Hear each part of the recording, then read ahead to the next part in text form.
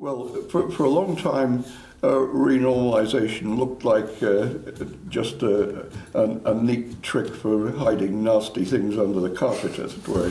In other words, in the when it arrived in, in the work of uh, Feynman, Schwinger, Tomonaga, Dyson around 1950, uh, then it, it, uh, it was a way of finding how to, how, how to calculate uh, finite answers from a finite input, but the finite input had, had to be the experimental values of uh, the ele electron uh, mass and the electron charge, which are not the same as the parameters which appear, appear in the original uh, quantum field equations.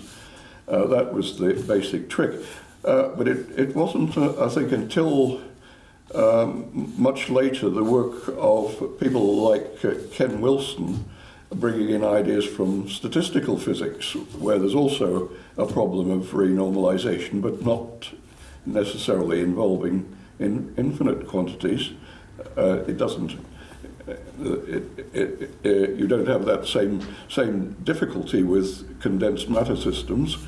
Um, it was only then, I think, that people realized that, that, that really renormalization uh, wasn't just a way of getting rid of nasty infinities, but it was a way of understanding scales in, in the theory.